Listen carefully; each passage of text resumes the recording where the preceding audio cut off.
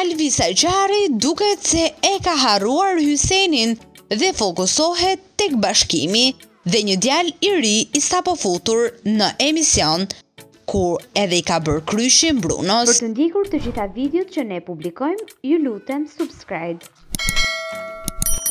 Nëse vërtet i pëlqeni, like dhe mund të shprehni mendimin tuaj në koment.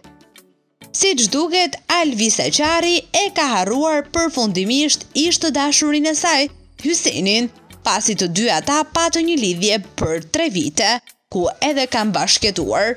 Pas hyrjes së Hysenit në program, duket se gjërat u komplikuan së tepërmi, por Alvisa arriti të pozicionohej tek pëlqimet e saj, ajo qe mes Bashkimit dhe Brunos, por që këtij të fundit i ka vënë kryqin, duke mos dashur të ketë më asnjë pëlqim për të.